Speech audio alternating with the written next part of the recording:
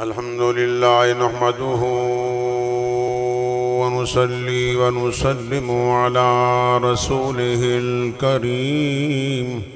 أما بعد فأعوذ بالله من الشيطان الرجيم.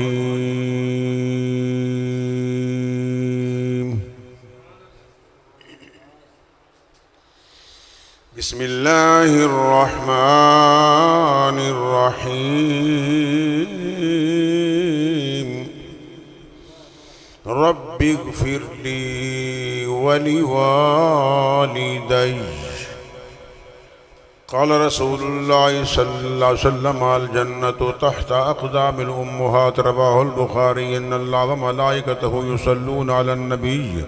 يا أيها الذين آمنوا صلوا عليه وسلموا. تسليما صلاة والسلام عليك يا رسول الله وعلى ویلکم، مرحبا۔ اوپر تشریف لائیں، اوپر آ جائیں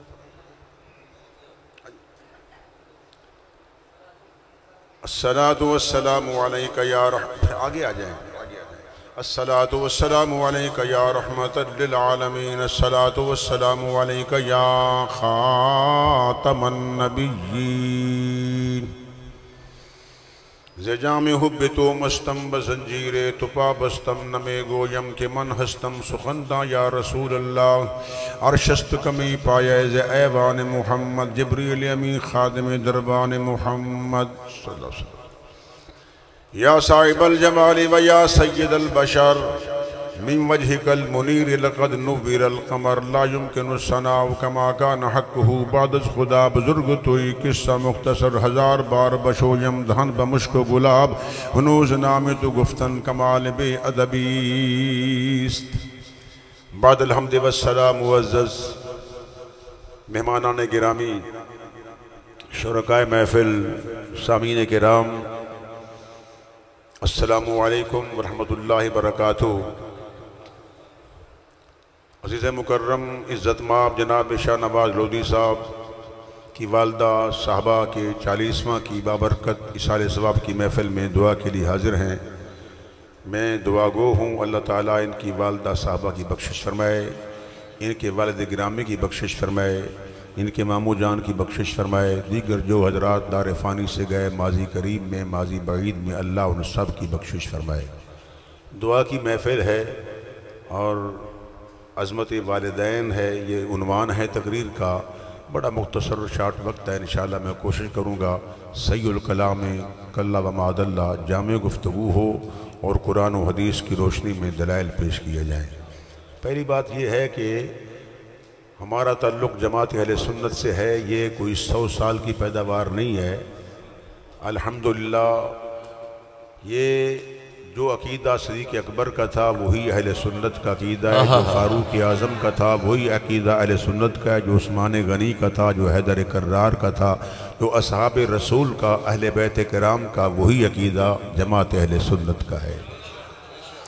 یہ جو ہمیں کہا جاتا ہے کہ یہ ذکر کہاں ہے لکھا ہے پہلی بات تو یہ ہے کہ جو کہتا ہے کہ یہ ذکر نہیں کرنا چاہیے، اس کو پہلے ذکر دکھانا چاہیے کہ یہاں لکھا ہوا ہے کہ مت کرو ذکر۔ پہلے وہ دکھایا کہ کہاں لکھا ہے کہ خبردار ذکر نہیں کرنا۔ میں قرآن سے ثابت کروں گا کہ ذکر بھی کرو اور درود و سلام بھی پڑھو۔ شریعت کی سب سے بڑی دلیل قرآن ہے۔ اور سنو قرآن میں ہے فیضا قزئی تو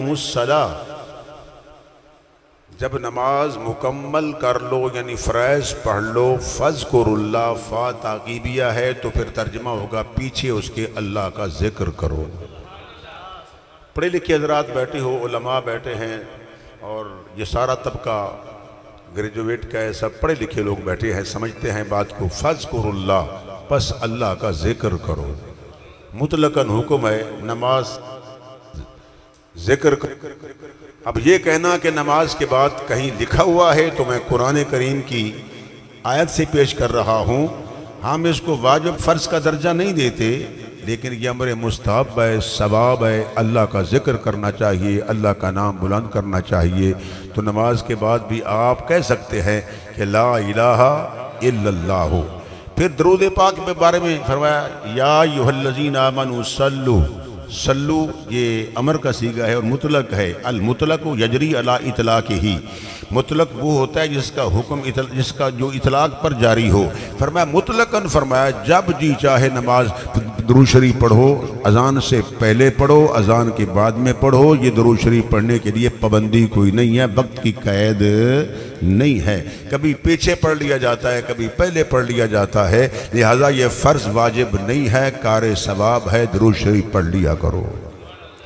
اس پر مزید ہمارے پاس دلائل بھی ہیں، میں انشاءاللہ علامہ صاحب نے مجھے کچھ ذکر کیا تو میں اپنے موضوع کی طرف آ رہا ہوں کہ ہماری عظمت والدین، سنو، یہ قرآن کے اندر ہے کہ ماں باپ کا مقام کیا ہے، ماں باپ کی شان کیا ہے۔ آقا علیہ السلام کی بارگاہ میں ایک شخص نے عرض کی، آقا، انی ارید الجہاد۔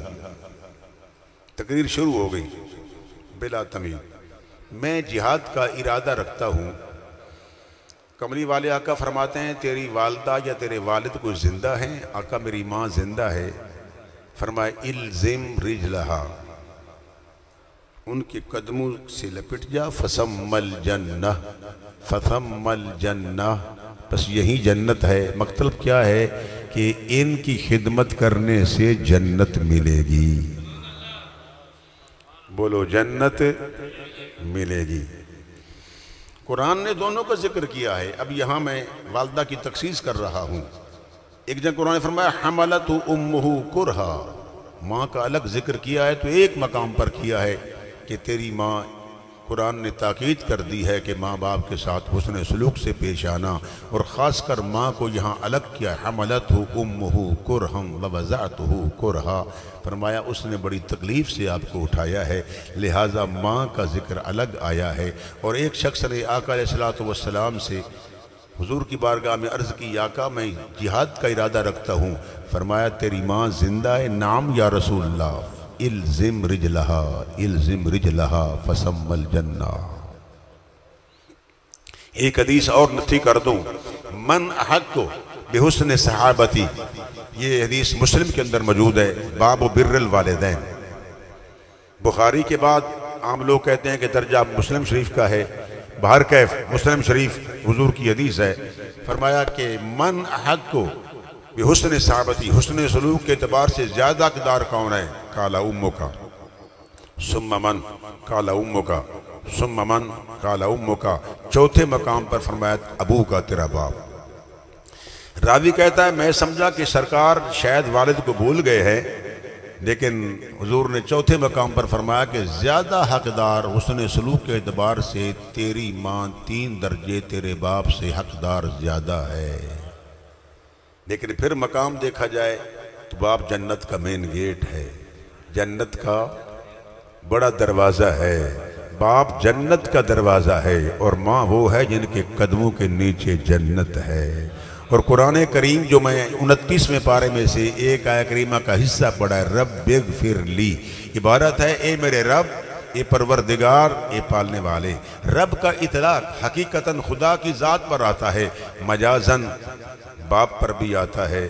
اور اگر استاذ پر بھی کہہ دیا جائے تو اس پر بھی آتا ہے، وہ بھی تربیت کرتا ہے۔ مجازن ماں باپ کو رب کہا گیا وَقُرْ رَبِّ رَحَمْهُمَا یا اللہ، اے پروردگار، ان پر رحم فرما۔ کما رب یعنی صغیرہ، انہوں نے ہماری بچپن میں تربیت فرمائی۔ تو مجازن ایک حقیقت ہوتا ہے، ایک مجاز ہوتا ہے۔ مجازن اطلاق رب کا ماں باپ پر بھی آتا ہے، مگر جو رب العالمین ہے، وہ وحدہ لا شریک ہے۔ اب شرک کا شعبہ ختم ہو گیا، کیونکہ ہمیں لوگ ڈراتے ہیں، یہ سنی مشرق لوگ ہیں، شرک کرنے والے ہیں۔ پہلی بات یہ ہے کہ سب سے بڑا گناہ ہے الاشراک باللہ، اللہ کے ساتھ شریک ٹھہرانا۔ حقوق الوالدین، والدین کی نافرمانی کرنا، یہ بھی گناہ کبیرہ ہے۔ اور ولا تقرب الزنا، یہ بھی گناہ کبیرہ ہے۔ جھوٹ بھی گناہ کبیرہ ہے۔ جس سے ہم بچتے نہیں ہیں۔ وہ لوگ بچتے ہیں جو متقی پرہیزگار ہوتے ہیں۔ فرمایا کہ ماں باپ کی نافرمانی یہ بھی کبیرہ گناہ ہے، شرک کرنا بھی کبیرہ گناہ ہے۔ اس لیے مشرق کو ظالم کہا گیا ہے، ان الشرک لظلم عظیم ان الشرک لظلم عظیم ظلم وضع الشیء فی غیر محل ہی عادل وضع الشیء فی محل ہی تورف الاشیاء بے ازدادہا فرمایا ظلم کہتے ہیں جو کسی چیز کو اس کا حق ہے، وہاں نہیں رکھا گیا، غیر میں رکھا گیا ہے۔ ہے، تو یہ ہے ظلم. اس لیے مشرق کو ظالم قرار دیا گیا ہے. ان الشرک لظلم عظیم. اور اہل سنت والے شرک ورک سے بیزار ہیں. الحمدللہ، ہمارا عقیدہ یہ ہے ایک ہے ایک ہے ایک دی ہر دم سکھ ہے. ایک کو ڈو کر جانے، کافر تے مشرک ہے. ہم نے خدا کو ایک مانا ہے، وحدہ لا شریک مانا ہے. قل هو اللہ احد، اللہ السمد لم یلد ولم یولد ولم یکن له کفوا احد دوستان محترم، اہل سنت کے ذرا عقیدے کو سمجھتے ہوئے آگے چلیے۔ پڑھے لکھے لوگ حضرات بیٹھے ہیں اور جن کا تعلق تعلیم کے ساتھ ہے، ہمارے افسر بھی موجود ہیں۔ میں ان کو ویلکم کہتا ہوں۔ لودھی صاحب کی طرف سے مرحبا۔ جی آئینو بڑی مہربانی فرمائی آپ نے۔ اور سب حضرات کی مہربانی۔ سب نے گرمی میں شدت گرمی کی۔ اور اس موسم، ایسے وقت میں آپ آئے۔ اور پھر اس گرمی کے ساتھ مجھے برخوردار نے کچھ دکھایا تو میں پریشان ہو گیا کہ انڈیا میں مسلمانوں کو مسجد کے اندر مارا جا رہا ہے۔ ہم تو ذکر کر رہے ہیں نا جی وہ بچارے ذکر تو کیا نماز نہیں پڑھ سکتے، ان کو اندر پیٹا جا رہا ہے، اندر مارا جا رہا ہے، بیر مارا جا رہا ہے، پتھر مارے جا رہے ہیں، مسلمانوں پہ ظلم ڈھائے جا رہے ہیں۔ اس اقلیت پر مسلمانوں پر کتنا ظلم ہے۔ اللہ تعالیٰ ان ظالموں کو برباد فرمائے۔ اللہ تعالیٰ مودی کو برباد کرے، اللہ تعالیٰ مسلمانوں کو ظالموں کے ظلم سے نجات کلی عطا فرمائے۔ اس وقت ہمارے پاکستان کو چاہیے کہ ان کے ساتھ ہر قسم کے روابط منقطع کر لیں۔ تجارتی، سفارتی، معاشرتی، سب کے سب کے سب رابطے جو ہیں، ان سے منقطع کی جائے من کل وجوہ، ان سے رابطہ ختم کر دیا جائے۔ اور جو تیل دینے والے حضرات ہیں، وہ عرب، سعودی عرب وغیرہ، یہ سب کے سب ان کو تیل دینا بند کر دیں کہ ہمارے مسلمانوں کو مارا جا رہا ہے۔ یہ مسلمان کہیں رہتا ہو، انڈیا میں ہو، مسلمان جو ہے، وہ کہیں بھی بیٹھا ہو، وہ ہمارا بھائی ہے۔ کیونکہ وہ کلمے، اس نے کلمہ شریف پڑھا ہے، اور کلمہ جو پڑھتا ہے، وہ ہمارا بھائی ہے۔ ہمارے بھائی کو تکلیف ہے تو وہ ہمیں تکلیف ہے۔ میں لودھی صاحب کی اس والدہ صاحبہ کی سال ثواب کے حوالہ سے یہ بات پہنچانا چاہتا ہوں کہ ہماری حکومت جو ہے اس کو متنبع کرنا چاہتا ہوں۔ خدا کے لیے احتجاج کا وقت اب نہیں ہے۔ احتجاج تو ہم کریں گے۔ احتجاج کا وقت نہیں۔ اٹھو، اب ان کے ساتھ سفارتی تعلقات ختم کرو۔ اور اقوام متحدہ کے اندر یہ بات پہنچاؤ۔ کہ وہ سوئی ہوئی اقوام متحدہ کہ اٹھے جاگیں کہ مسلمانوں پہ کیا ہو رہا ہے۔ آج مسجد میں ہم بیٹھ کر بڑے امن کے ساتھ ذکر کر رہے ہیں۔ ہمارا اپنا ملک ہے، مگر وہ وہاں نماز تک نہیں پڑھ سکتے۔ ان کو مارا جا رہا ہے۔ اللہ ان کا خاتمہ، اللہ ان ظالموں کو کیفر کردار تک پہنچائے اور اللہ تعالیٰ ان کو صبر عطا فرمائے۔ جن کے بچے مارے گئے ہیں، اللہ ان شہداء کے دراجات کو بلند فرمائے اور ان کی پسماندگان کو صبر جمیل عطا فرمائے۔ دوستان محترم، سنو۔ میں عرض کر رہا تھا کہ شرک کیا ہے؟ یہ خدا کے ساتھ شریک ٹھہرانا یہ سب سے بڑا گناہ ہے۔ بولو، سب سے بڑا گناہ ہے۔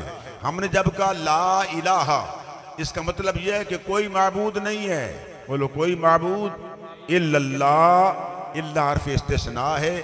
اللہ کے سوا کوئی عبادت کے لائق نہیں ہے۔ اللہ کے سوا کوئی عبادت کے لائق نہیں ہے۔ اگلی بارت پڑھو، محمد الرسول اللہ۔